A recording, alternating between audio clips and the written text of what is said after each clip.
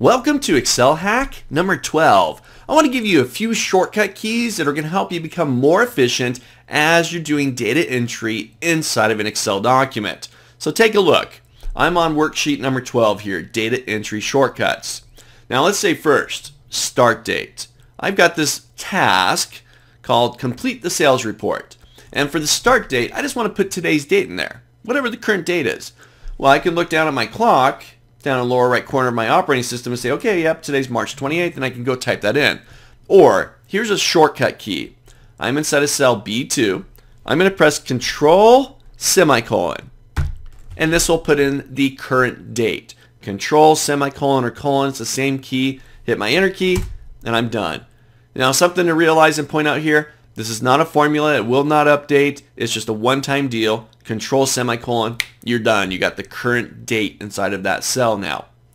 Now let's move over to the assign to column. I'm down here assigning tasks to these individuals. And let's see, the last one there, I've got Sally. Finalize the SharePoint site. Sally's going to do it. Hasn't completed it yet. I'm going to drop down. You know what? Sally also needs to do build the PowerPoint presentation, which is the next task. Now I can start to type Sally's name in there, or here's the shortcut key. Control apostrophe on my keyboard, control apostrophe. And this will copy what's directly above. And that's it. Hit my enter key and I'm done. Control apostrophe. Even if you highlight multiple empty cells and do control apostrophe, it'll copy directly above it. Maybe perhaps for an entire row if you want to duplicate an entire row's worth of data select the, the empty row down below, control apostrophe, you're done. All right, here's another one.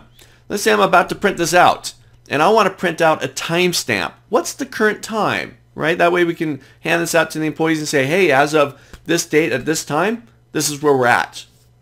Well, on your keyboard, I'm going to press Control Shift semicolon.